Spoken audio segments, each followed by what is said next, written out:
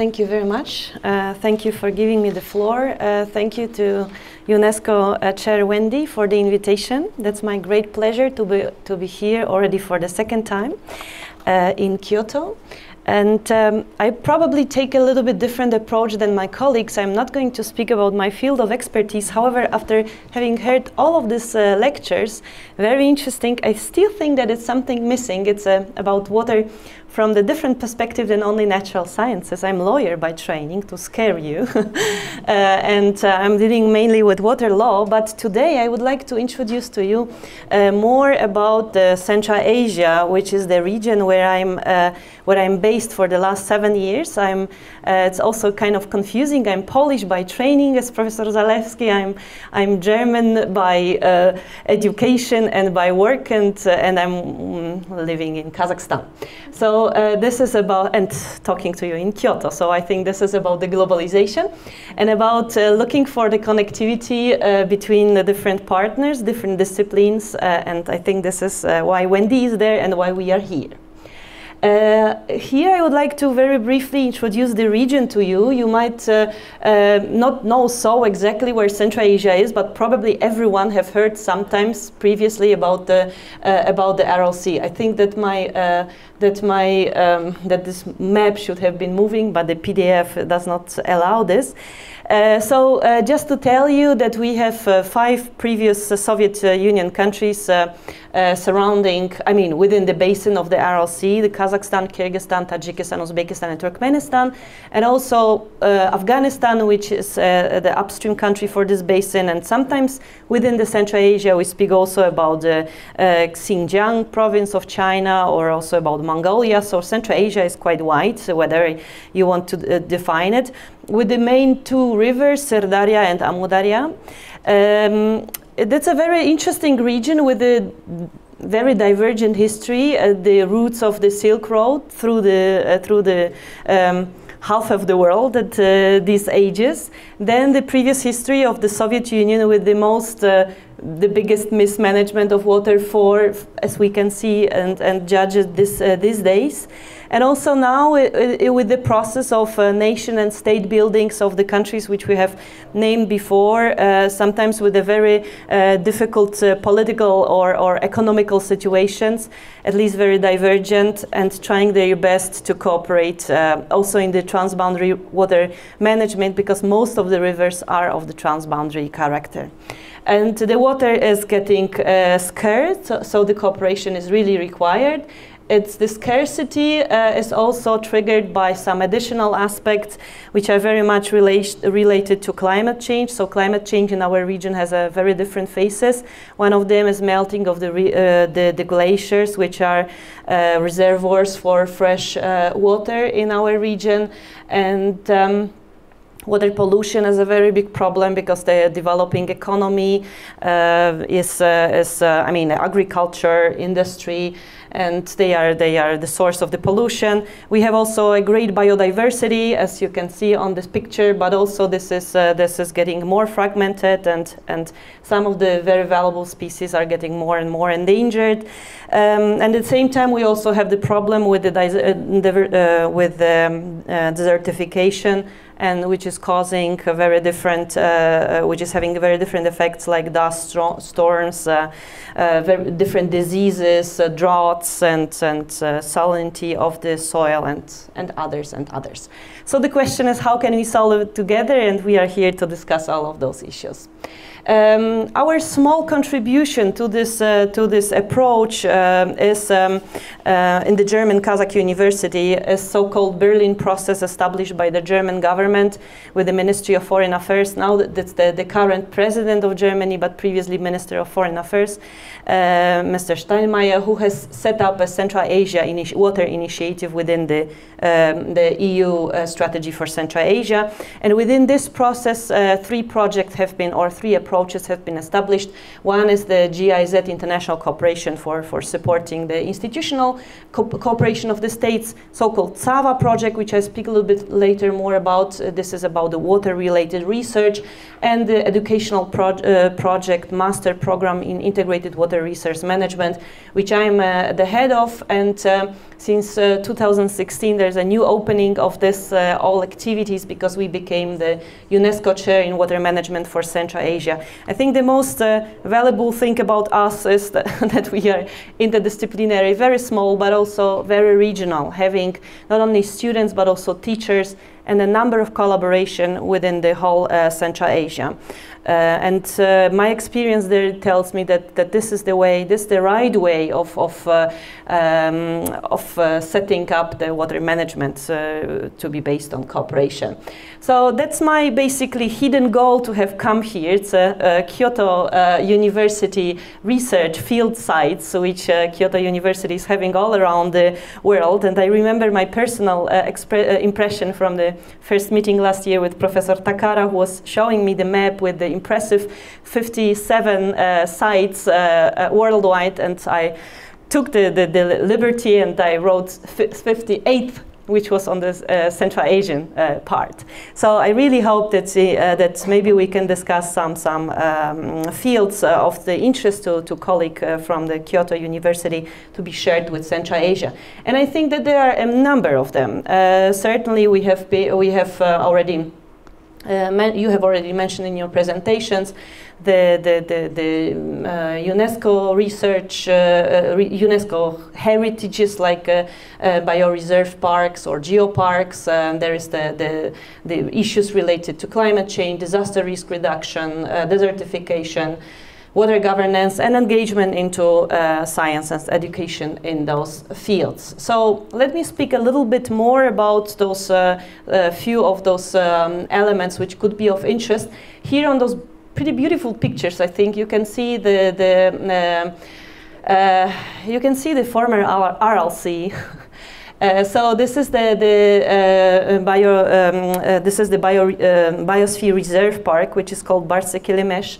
It's also quite an interesting story because it used to be a, a, a, an island on the Aral Sea, um, more or less uh, uh, 30 square kilometers. Now is much much bigger because it's reaching the land because the Aral Sea basically in this part is not anymore there, but still it has preserved and uh, lots of the its um, natural uh, uh, desert ecosystem and and uh, probably the whole Aral Sea area is the like a laboratory where you can see the the emergence of of the natural the deserts ecosystems, but it still has a number of, uh, of very uh, unique uh, um, species of flora and fauna which should and, and could be still researched.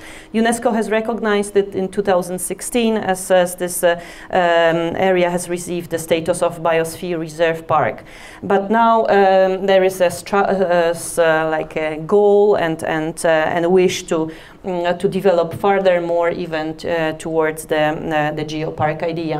Uh, there is a special intergovernmental organization among the Central Asian countries which is dealing with the development of the and, and maybe improvement of the situation in the Sea basin, which is called um, uh, International Fund for Saving Sea, and uh, especially uh, with the Kazakh, uh, Kazakhstan support, uh, they have managed to, I mean, to develop the plans for setting up a special um, scientific center at the um, the very beautiful lake uh, called uh, Kamystyban Lake, uh, which uh, could be a potential place for the uh, future scientific development and cooperation. Uh, here are again some ideas for the for the related to the question of the of the geopark. there are a number of fossil flora and fauna um, remainings from the Paleogene age. Um, and um, and maybe it would be a special uh, attraction also in terms of the, the, the setting up um, uh, a geopark to strengthen the, the, the, governmental and international community support to the uh, rescuing of this uh, unique uh, place. Um, here, just a few uh, of the, um, just a few information about the research which is going on in Central Asia with the support of, uh, of uh, the, the German uh, side. Um, uh, this is so-called uh, Central Asia Waters uh, Network, uh, which uh, with its re um, uh, regional representative is based re from recent time at our university. it has three main components.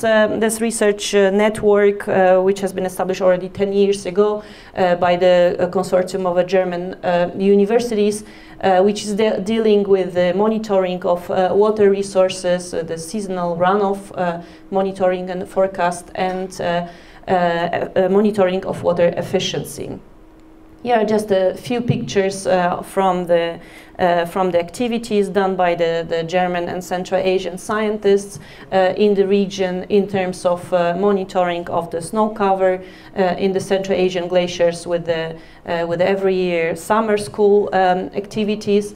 Um, um, also um, related to the uh, measurement of the runoff, uh, the, the, the, network has established a number of uh, uh independent uh, monitoring stations throughout the region uh, and is gathering an independent data openly accessible um, and, and possible for, you, for further use for research and also uh, land use monitoring with the water efficiency in agriculture uh, with its special uh, within a special program and and the and the website where also the data is available for most of the mm, this, the places in in uh, the Central, in Central Asia. So all of those uh, three directions of the so-called CAWa project, we hope and we welcome the, the, the engagement of, of uh, colleagues from the WENDI chair. Uh, here just a very new direction somehow, I mean new to, to probably also us and, and but very important to the, to the academic and uh, society and to the practitioners, the disaster risk reduction in, in Central Asia. We have obviously uh, big problems with the with the mud flows, with landslides, with the danger of the outburst of the uh, mountainous lakes. Uh, a number of projects have been already developed. We also know that some of the, the, the, the Japanese colleagues have been involved previously.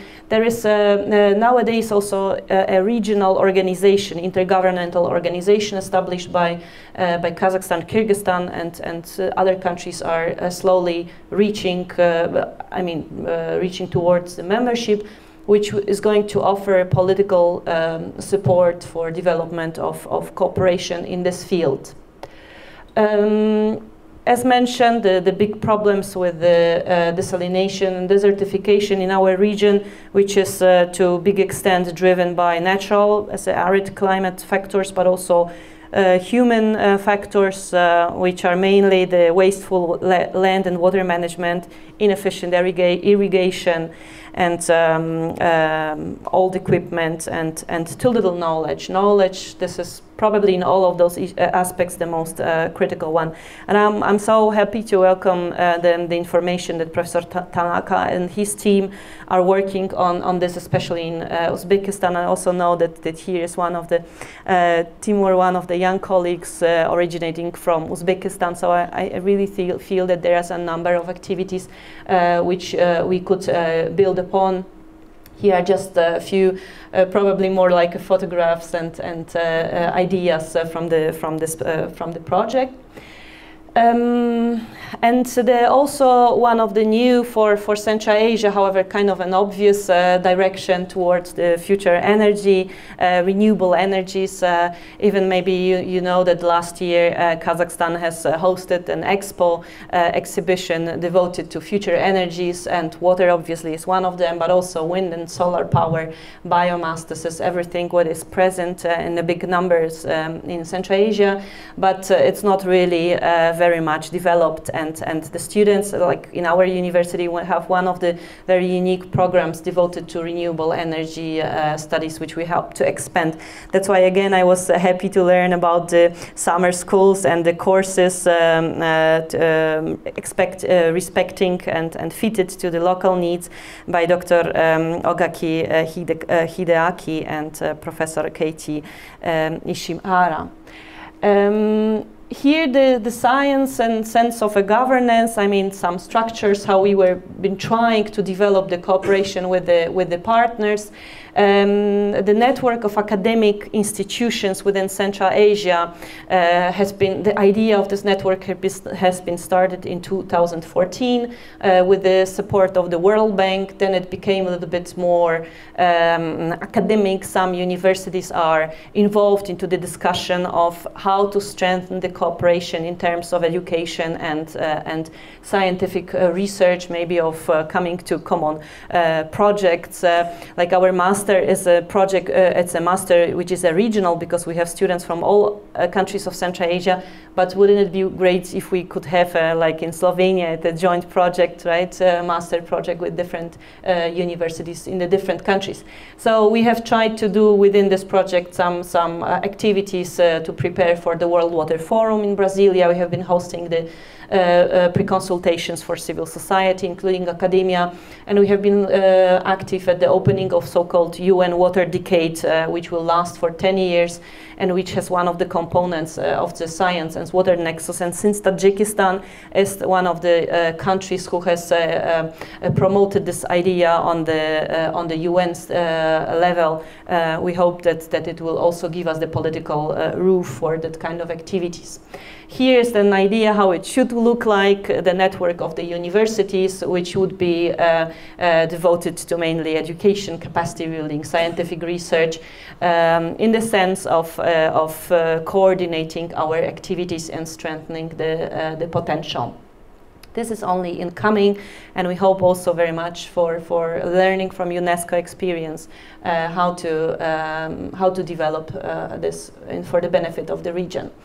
Um, and uh, last but not least, uh, the, the young generation, a very young bachelor, master uh, level, we have started also with the help of the so-called uh, uh, World Water Youth Parliament, a regional branch in Central Asia, what we call Youth Forum uh, on water, with some directions. Main, one, one, main of them is to support young um, students in, in research, in their research capacities, bringing them also to, to to the high level uh, scientific uh, events.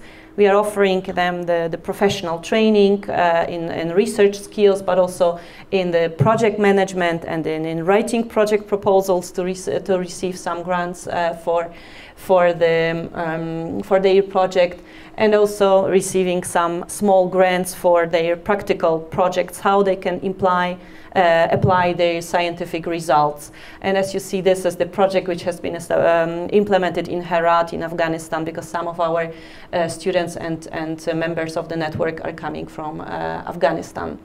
Um, and this is the really very last slide uh, where I uh, would like to indicate and invi invite you to participate in the, to, to, to, to participate and support maybe uh, the, the recent uh, e-journal which we have established with support of a few donor organizations. It's a peer-reviewed journal which, uh, which is online in Russian and in English and we very much uh, want with this platform to to um, to spread the knowledge which is internationally recognized on the high level uh, and spread among the, the Central Asians. And at the other side, also to, to, uh, to share with you, like with the international community, the knowledge which is present in our region, because there is a, a, a lot of this. So this is like an IWRM um, uh, approach journal um, to, to, um, to support the knowledge in the region. And that's it. Those are our partners. We, we wait for many more uh, in the future, and I hope for the cooperation in the education sphere to participate in the in the common events, to exchange the students, to participate in the short-term courses that has been advertised, and um, in the scientific uh, um, uh, activities of uh, WENDI uh, Chair, and uh, and finally to the field site of Kyoto in Central Asia. Thank you very much for your attention.